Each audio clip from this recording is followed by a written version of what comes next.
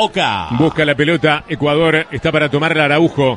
La saca Araujo, Araujo la tira para Piquerés. Corre Piquerés, no va a llegar. La pelota fuera de la cancha. Lateral que va a ser el seleccionado ecuatoriano. Estamos recorriendo 30 segundos de los seis adicionados. Sí. Se viene la última variante de Ecuador, camiseta número 20 para el hombre de Melec, Dixon Arroyo. Va a haber lateral que va a estar efectuando eh, Byron Castillo. Castillo tira la pelota, va sobre el costado de la derecha. La pelea Ecuador. La trata de tomar Alan Franco. Tiro Franco. Esa pelota es de Josema. Josema la saca. Le pega para adelante. Josema tiró para Maxi Gómez. Maxi Gómez para Pereiro. Pereiro para Maxi Gómez. Va llevando Maxi Gómez. Lucha Maxi Gómez. Trancó Maxi Gómez. Quedó para Pereiro. Llevó la pelota Pereiro. Va hacia la media cancha. Aparece Valverde. Sube Nández. Lleva la pelota Valverde. Puso para Nández. Nández corre. Zona de la derecha. Va a levantar el centro. Desbordó. Levantó el centro. Vecino. Gol. Gol.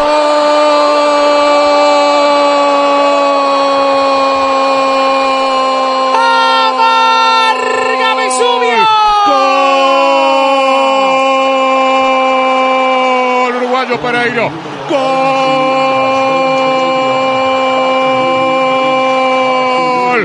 Pereiro.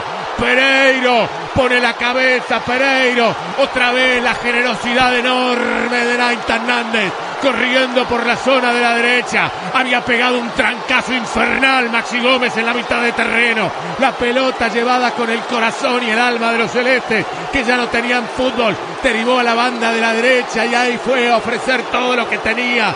El jugador del Cagliari levantó Naita Nández y su socio en el equipo italiano, Gastón Pereiro. Apareció para meter el frentazo de alivio, de alegría, de felicidad. El campeón del siglo grita gol. Uruguay 1, Ecuador 0 en el minuto 47 del segundo tiempo, Pereiro. Emocionante el final del partido, emocionante el desborde de Nández. Y Pereiro, una de las cartas de Tavares en la jornada de hoy, termina metiendo un cabezazo estupendo hacia abajo para que explote el campeón del siglo.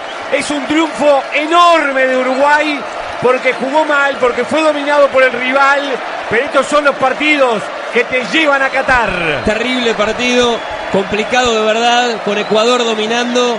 Sin embargo, dos movimientos decisivos. Uno, la osadía de Nández para tirar un drible en una situación complicada, aparte de un buen centro. Y para terminar, algo que no venía pasando, que un volante ofensivo se metiera para sorprender. Los descolocó totalmente Pereiro a los ecuatorianos, buena definición. Venía de recibir críticas en la última jugada donde había perdido una pelota en la mitad de la cancha. Ahora hizo, hizo explotar a este estadio. Golazo de Cololó. Sport 890.